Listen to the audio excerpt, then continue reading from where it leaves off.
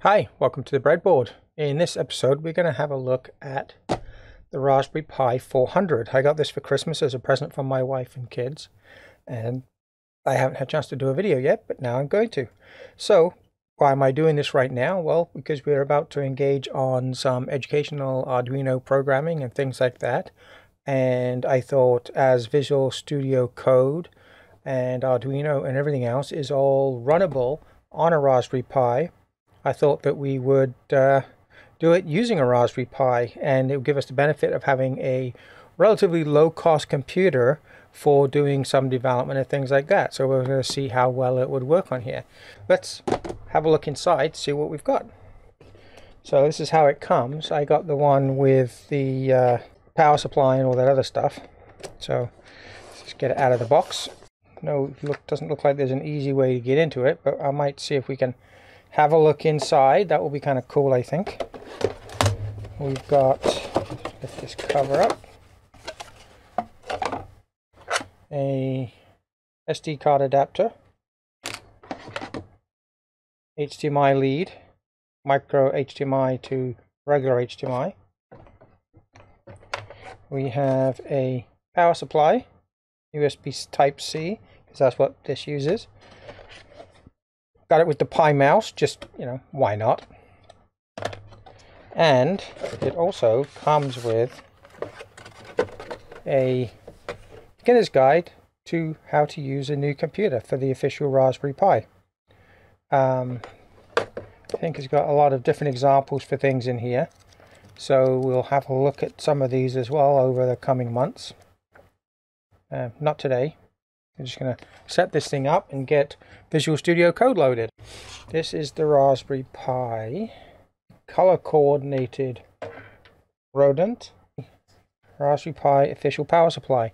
Now this one is a USB type C and it is rated at 3 amps in this case. So that's all the parts that come with it. One thing I found useful is a little HDMI adapter um, so I can reach my computer screen when it's further away. Anyway, let's see if I can open this up before we take it uh, before we power it up. What is it Dave Jones says? Don't twitch it on, take it apart. Anyway, we'll see. Not sure how it comes apart. Hopefully it's just a click together thing. Okay, so I found some tabs at the back, just running along with a plastic spudger. Looks like they're just clicking out. Trying not to break anything, of course.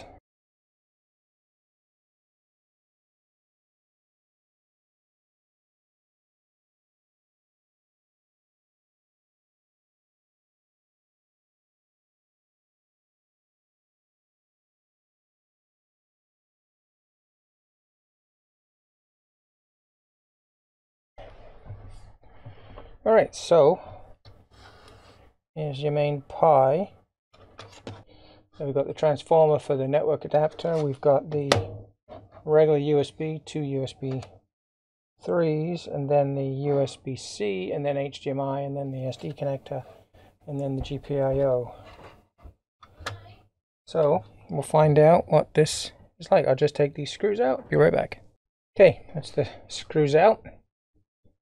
Need to zoom out just a little bit and fit it all in nicely. Now this cover should, there we go, got it off carefully. It's a bit of a conductive sticky tape there. Well, there's our Raspberry Pi.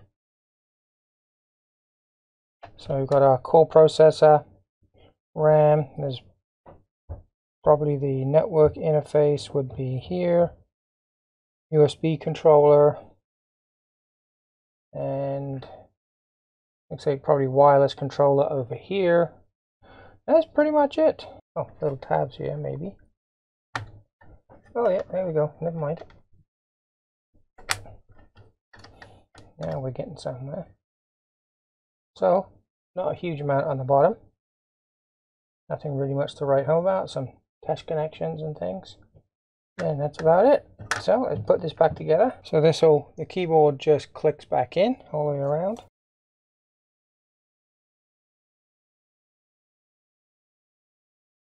So there's really no serviceable parts or anything you can do in there. Think about the only reason you might want to go inside is if you accidentally dropped your SD card somehow in a wrong slot. I don't think it's easy to put in the wrong slot. Okay, so there we go for that. Let's um, see if we can get something going.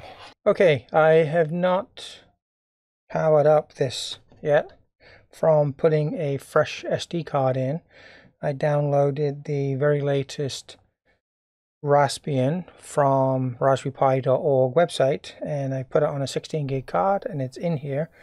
Never been powered up since that so we should be able to see the whole works happening with this Raspberry Pi 400. Um, I will probably speed up the video to five times because this could be a lengthy process while it goes through its initialization the first time. Then we're going to install Visual Studio Code and some add-ons to it, uh, namely Platform IO for doing Arduino programming. We'll install the Arduino IDE as well, because why not? And uh, put some, um, and then we'll be able to use some of the demo sketches that come with that. Um, we'll import them into Platform IO just to verify that they will work. I've got an Elegoo um, Uno R3 sitting here, uh, ready to go. So let's power this up. I'm going to switch to the camera pointing at the Raspberry Pi screen because you're not going to see anything happening here. Maybe a light come on, but that'll be about it. So let's do that now. Let me just switch screens. It looks a bit weird. Cameras always pick up every slightest mark on the screen when it's... Uh... All right, I'm in the bottom right corner, but that's about it. Okay, let's plug her in now and see what happens.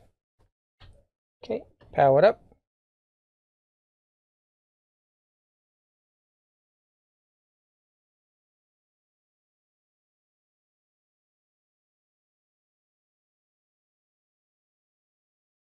And there we go. All right. Let me just verify everything is in focus here. And we'll continue. Okay, looks like everything's good to go. So we'll just run through this. Uh, as I said, I'm going to fast forward this, so just be aware.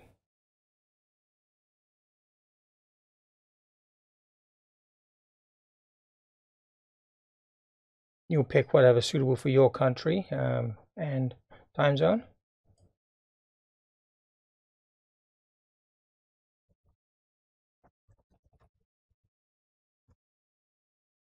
If you do have a black border, which I do, around the edge of the screen, just check that box and hopefully when it reboots it should disappear because it'll widen out to fit the screen.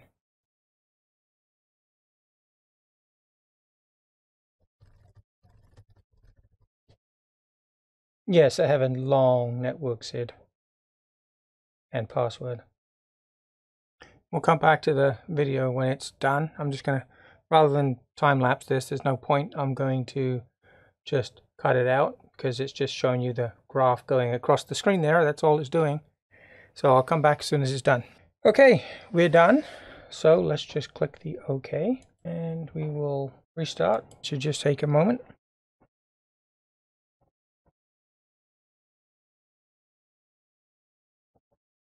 And there we are. Okay, I've zoomed right back out again. Here's our default screen from PowerUp what we need to do now is install the Visual Studio Code from Microsoft and then Platform IO and the Arduino IDE.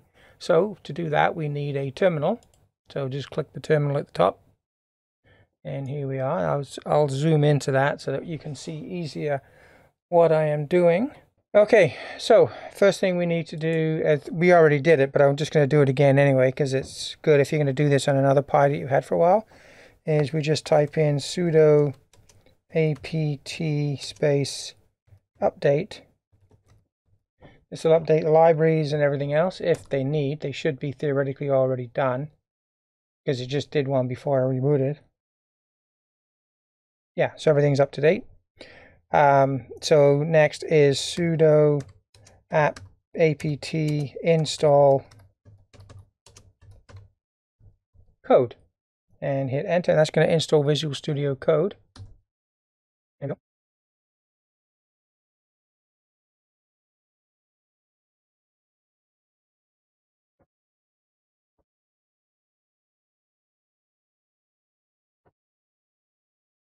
Okay, that's Visual Studio Code done. Now we'll do the same, but for Arduino. And uh, we're done there. So now if we zoom out a little bit, just so we can see the full screen again. Uh, that will do. So if we go up to the menu now, we should see under programming, we have right at the top here the Arduino IDE and near the bottom we've got the blue logo for the Visual Studio Code. So first of all let's just quickly try the standard blink sketch on my Arduino here. So we'll fire up the standard Arduino IDE and then we'll bring the blink and see if it will upload. So I'll plug in the Elgumaz into my keyboard. Plug it into the USB 2 port. All right, so we're ready to go there. All right, let's fire up the Arduino IDE. Okay, so here we go. There we go. Okay, we'll do file and we'll open from the sketchbook, no, from example, sorry, basics, blink. All right, so this time we'll go file, sorry, not file. We'll click the tick box to make sure it's going to compile okay for us. We do need to make sure we set the board correct first though. So it's an Arduino Uno right at the top. And um, Serial port, yep, TTYACMO, it detected it. So we'll click verify. Should verify no problem, of course. So now we'll click upload and it should automatically upload to the Pi. I'll switch screen views to the Pi. It's already running a blink kind of sketch, but we should see it um, flicker. Right now it's running um, an a sketch where it's blinking the LED, but it's blinking it for a very half a second on and two seconds off. It should go back to a one second on, one second off time with it, if it uploads correctly. So here we go.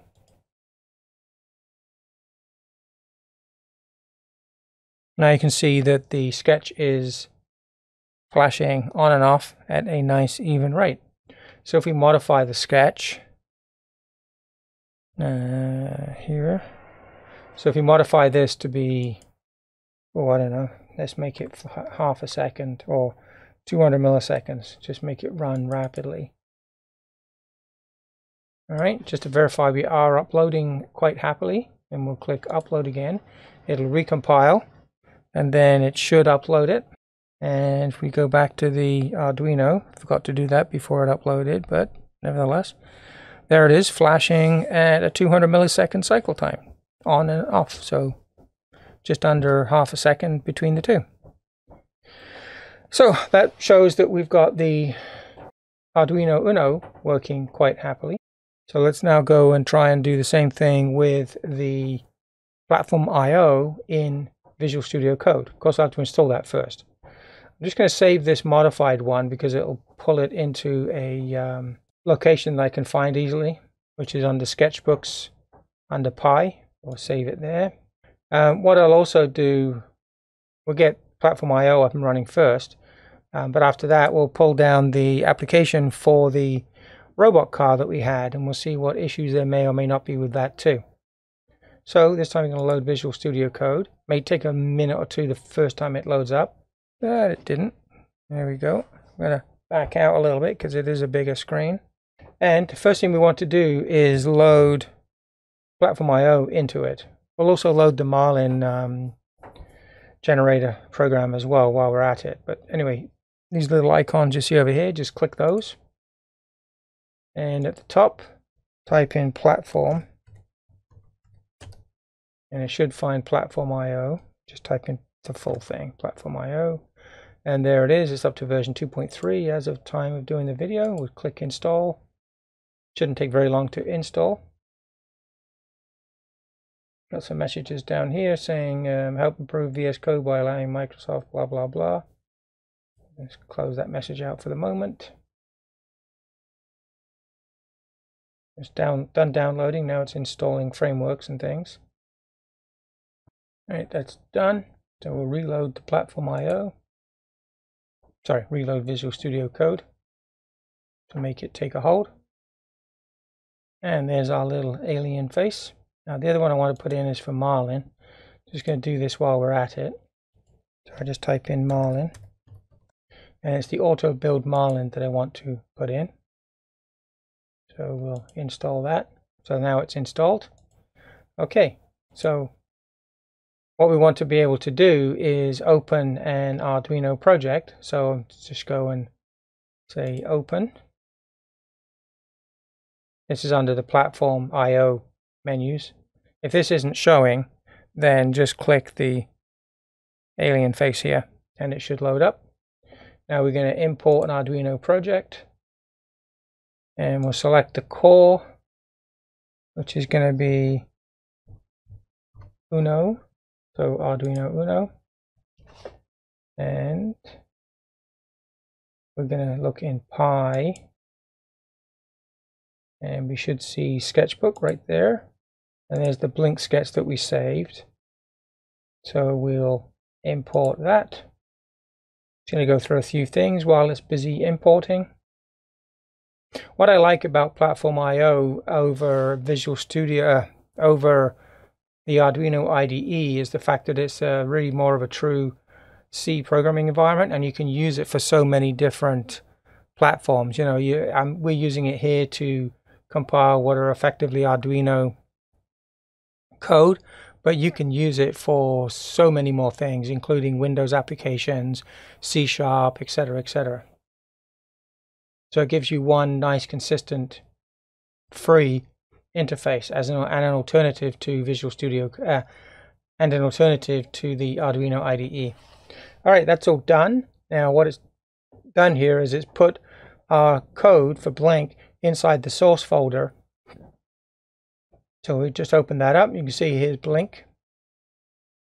Um, before I open that, as you can see, the platformio.ini describes what we told it about when we did the import. So it says it's using an Atmel AVR processor. The board is an Arduino Uno, so it knows it's a 328, um, ATmega 328 uh, microcontroller, and we're using the Arduino framework. So let's open Blink IO. Anyway, here it is. So the first thing to do is to see if it will even compile. So again, at the bottom here now, we have some different menus. The bottom here, we've got a little house symbol. Next to it, we've got a tick, which is for building platform, the current Platform IO application. So we'll just click that. And we get some feedback here about compiling. The very, very first time you compile something, it may take a little bit longer because it's pulling in libraries, but in this case it didn't. Now, hopefully this will also automatically detect what we have. So if we go back up here a second, we'll change this to um, a two second blink time. If I go back to the sketch, just to remind, sorry, the card, you can see it's blinking with a 200 millisecond period between on and off. So we're going to change that just so we know it's working to be two seconds. So we'll go O, an extra O there, and an extra O there. All right, and we'll hit compile again.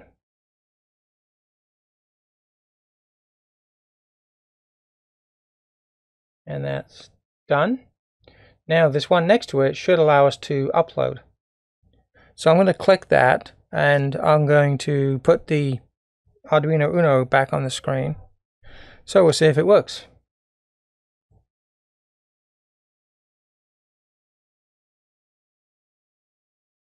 There we go. Yep, did it. And set the fuses, did everything. If I go back to the screen, um, up here a little bit, we can see it's um, recompiled it, got a hex file to upload, ready to accept instructions. That's talking to the programming in level interface, sending up the files, verifying the flash worked, um, setting the fuses, and we're done. So let's go back to the, oh, zoom in. Now you can see there, it's got a two second period now, so it's blinking much, much slower. So that's verified that we can indeed compile a Arduino sketch imported into Visual Studio Code under Platform IO and send it out to an Arduino using the Raspberry Pi 400, which is excellent. Now, the last thing I want to do, just because it will tie into some other videos that I'm going to be doing, is we'll download the files for the Elegoo robot car version 4 that I showed you in the last video. I want to be able to generate some tutorials working through the examples that are provided there, which I've had a quick scan through um, offline, and they seem to be much, much better than previous versions. So it looks like it'd be something worthwhile showing you.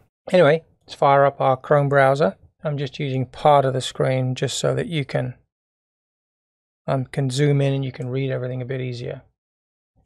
So we're going to go to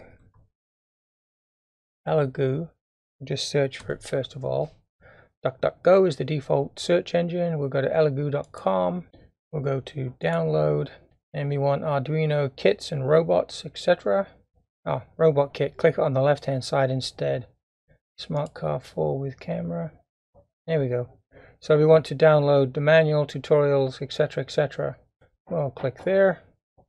Takes us out to Google Drive. Um, you don't need to sign in or anything like that. You can download them individually if you want, but we're just going to say download all. It's going to zip it up and then it's going to download it to me. It'll take, it takes the site a few minutes to zip the file up. I don't know why they don't have a zip file already there. It would be nice. Okay, looks like the download has completed. And we've got a zip file here, so I'm just going to open it up and I'm going to extract it to the same folder as the other thing. So we'll click on extract files and we'll navigate to the, that'll take a moment. Okay, looks like it's done. So we'll close that folder. Okay, that was fun. What I've found out is rather interesting. I've reset everything back to its defaults before I started trying to compile that uh, Elegoo Smart Car program and had those issues. Uh, did a bit of investigating and this is what I found. Um, under Windows, using the Arduino IDE, I could compile the program no problem. Had to add a couple of libraries that weren't in there by default, and that's fine. But I didn't get errors about not being able to find Arduino.h and things like that. Under the Arduino IDE for the Raspberry Pi, um, had a lot of issues with the Arduino IDE that was loaded by using um, apt install code, sorry, apt install Arduino. It ended up with a different version that was not the one that is current from the Arduino website. So what I did was I followed the instructions on the Arduino website, which is basically to download the zip file from Arduino directly. Um, if you go into the Chromium and we go to Arduino software, bring it onto screen you can go down to downloads and we need the ARM 32-bit version. So you just click that and then it'll connect and it will, we'll just click download for now. And it will download a tar.exe file. Once that completes, I'm just going to cancel it for the moment because I already have it downloaded. Once that completes, there will be a folder in your downloads directory called Arduino 1.8.13 Linux ARM tar exe. Uh, if you double click that, it'll open up and you can extract it to wherever you want. I've extracted it already to my downloads folder. Sorry, brain fart for a moment. And if you look in this folder, you'll see that there is an install.sh.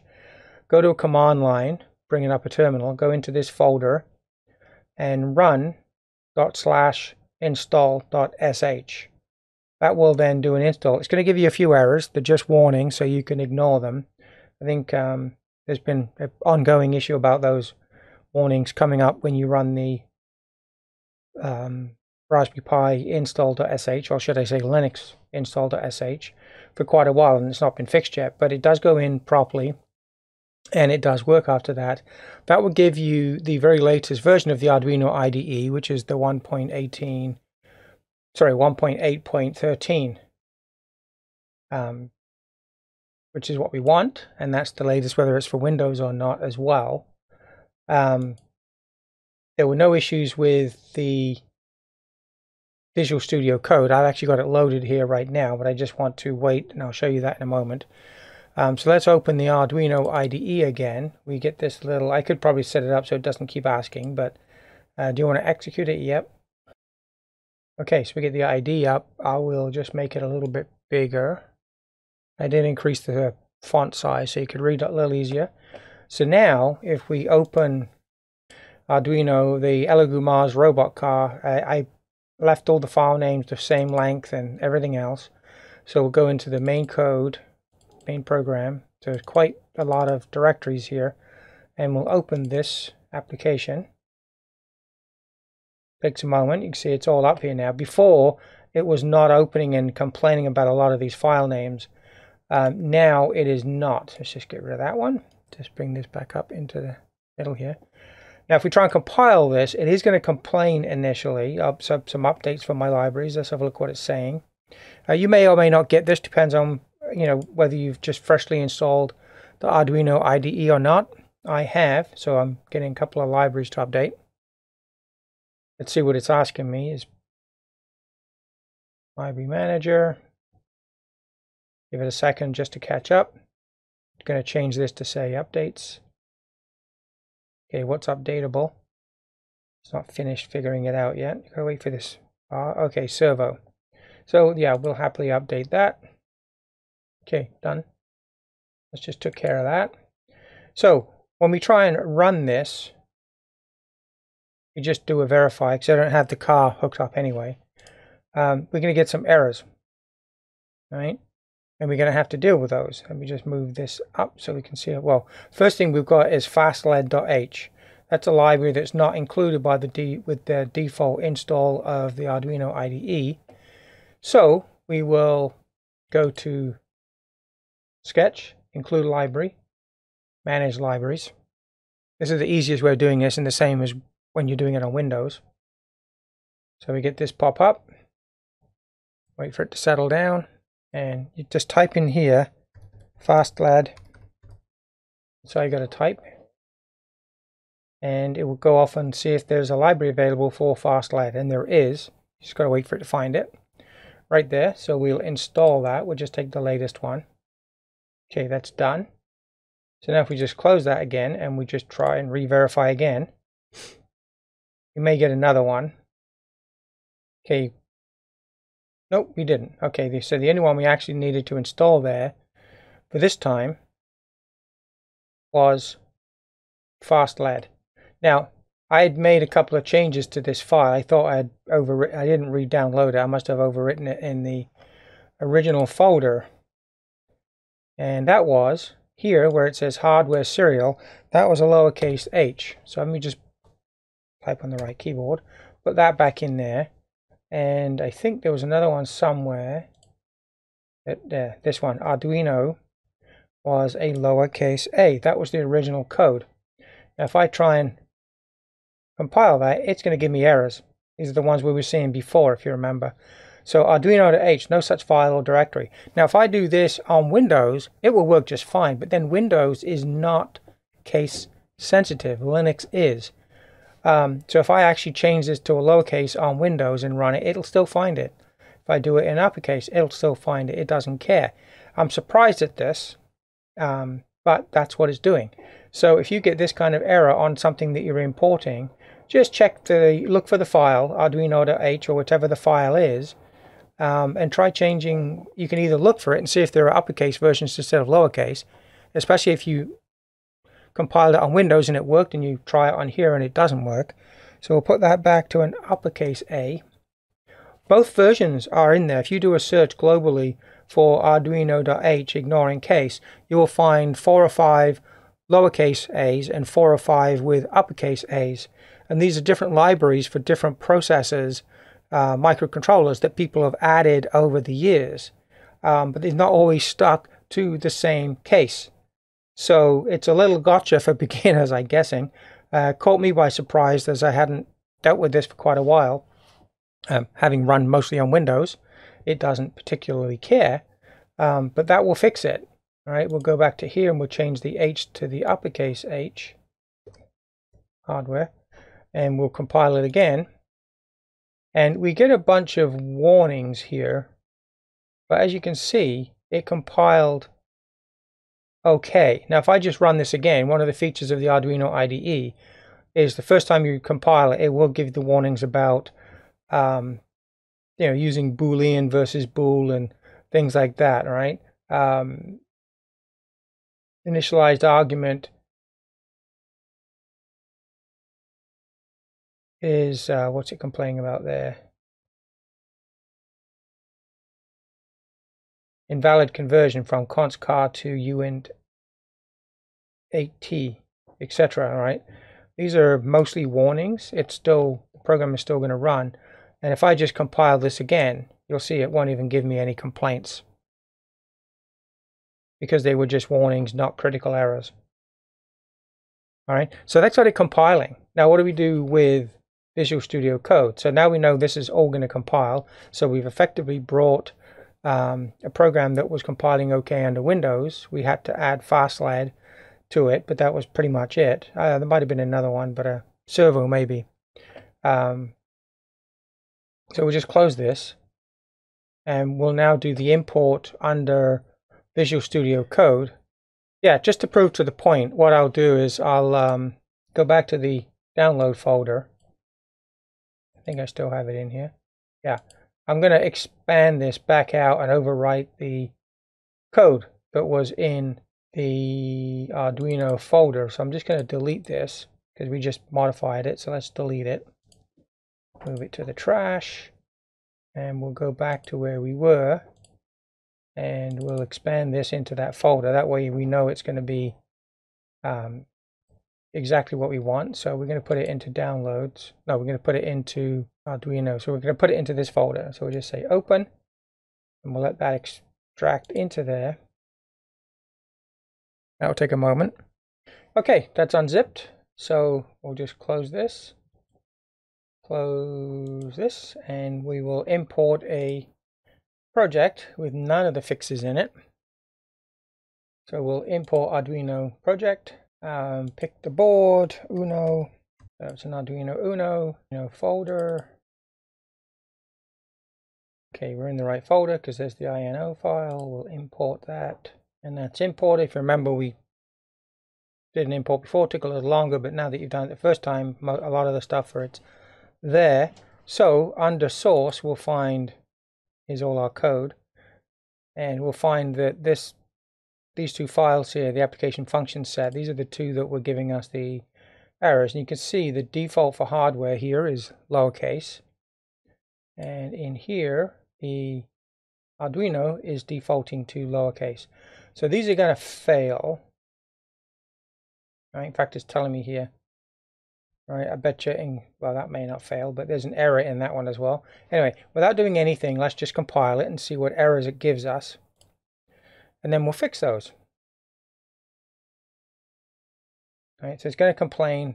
First of all, it didn't go anywhere because it couldn't find FastLED. Right, because that's not been included. We did include it into the Arduino IDE, but not in this. I told it not to pull the Arduino um, libraries. So you can go in here. Sorry, it's already open here.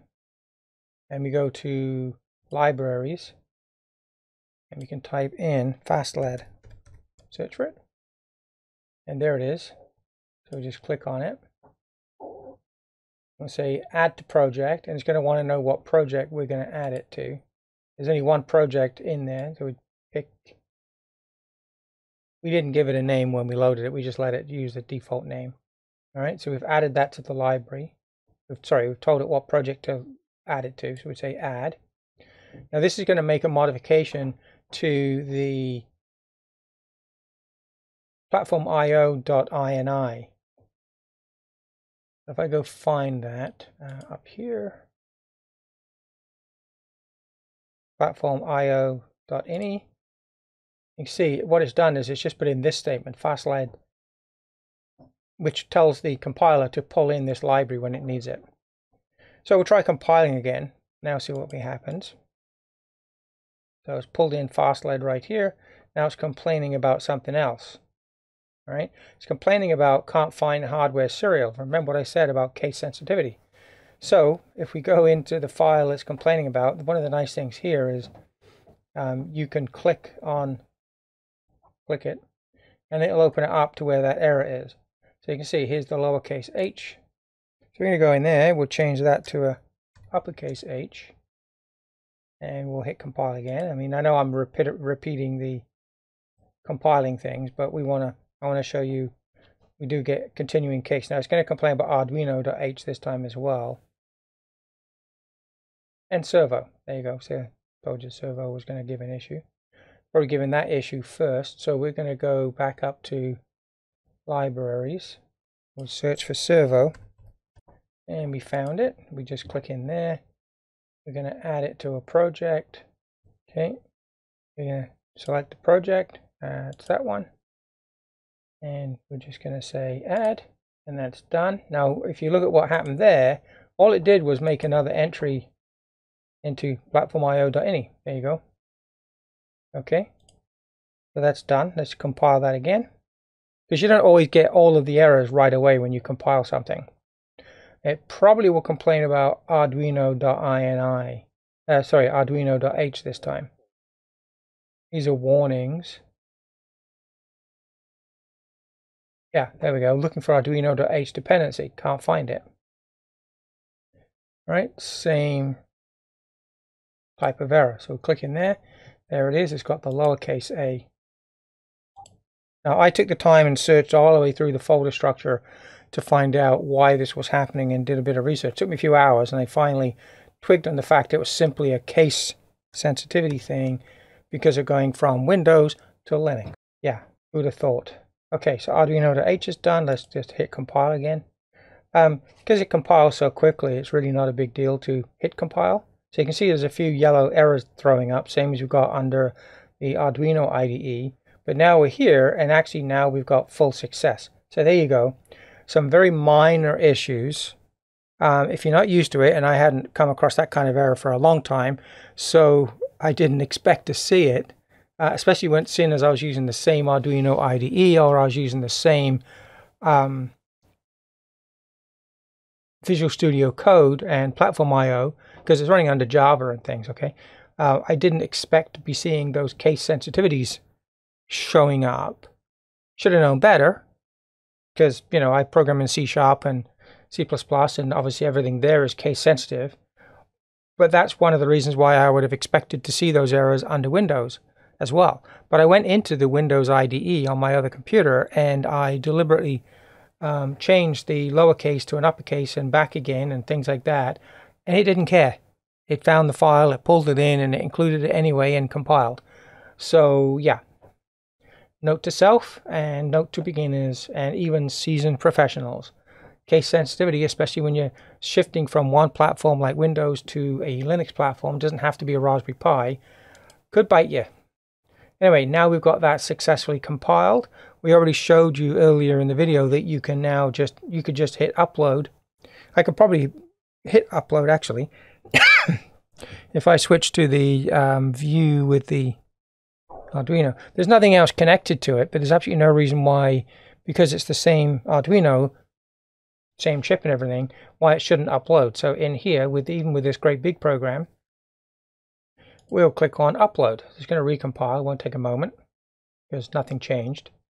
Compiling, and now we'll see the lights flickering and it's uploading, it's writing to it.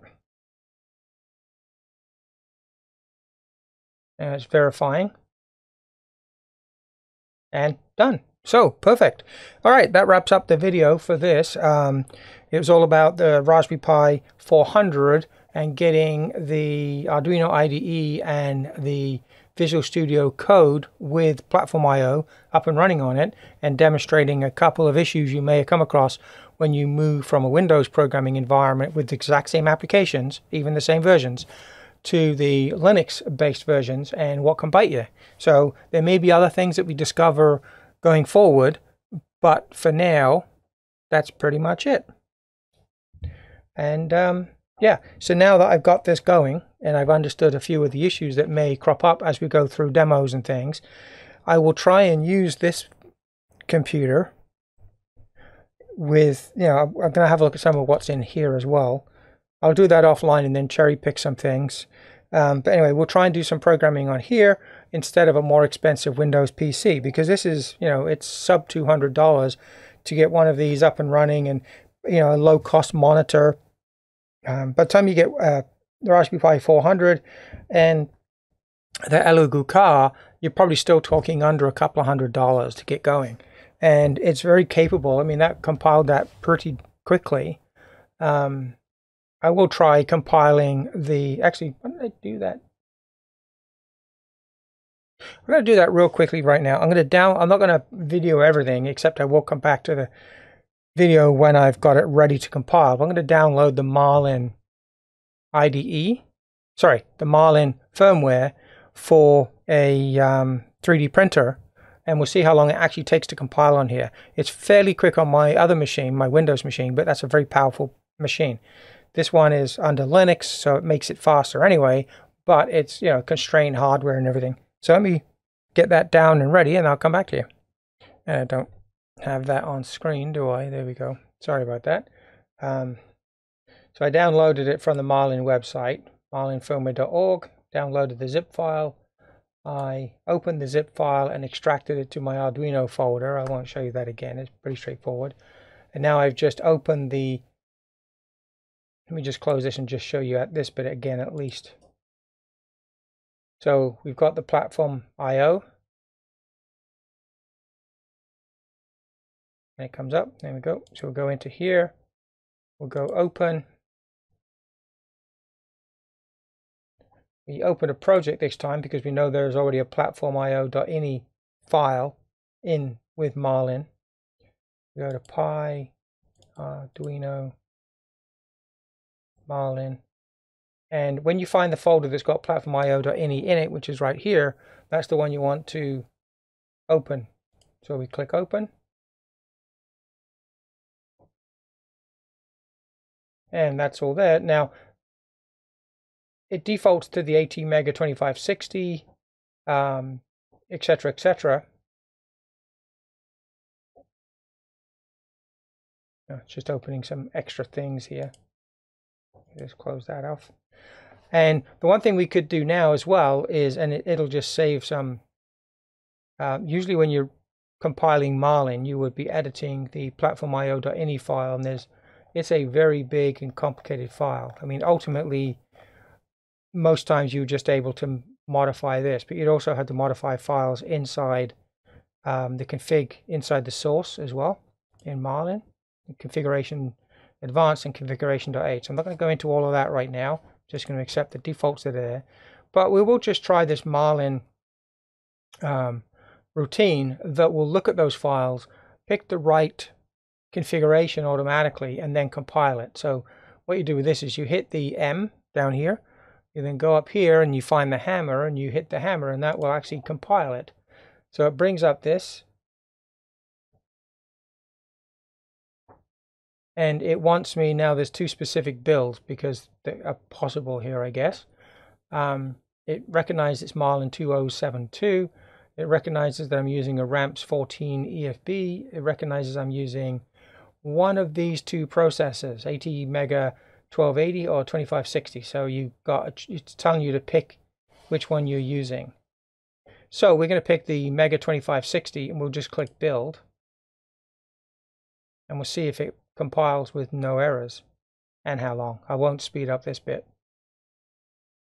Normally this would compile with no errors if you were doing it on Windows um, because the default download is fully compilable just so that you can verify that you've got all the files correctly and that everything else is set up and then you start tweaking it to be your own for your own board um, your own size 3D printer, etc., etc.